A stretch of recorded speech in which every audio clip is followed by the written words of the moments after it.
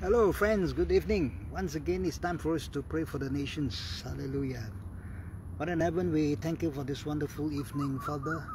We continue to bring the nations before you. We, in particular, Father, we continue to remember the nation of India into your hand, Father. We, we are so sad to see the uh, hundreds of thousands, oh God, uh, they're going into eternity without knowing you, Father. And we also see that millions are getting infected, oh God. Father, we continue to pray for this nation of India, Lord, that you have mercy, oh God, upon this nation. Father, we pray for your people that is in India, Lord, that you continue to strengthen them, protect them from the plague, and continue to use them, Father, to minister, Lord, to the uh, millions and thousands that are infected, oh God.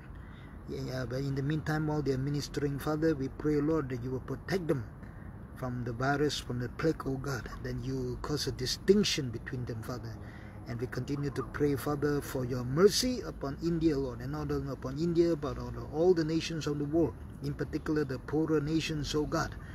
And we pray that you will help them, Father, and grant wisdom to the leaders, oh God, that they will not take it easy, oh God, they will really take it seriously, oh God. We also pray for our nation of Malaysia, Father, even as we are going through the fourth wave, oh God, we pray.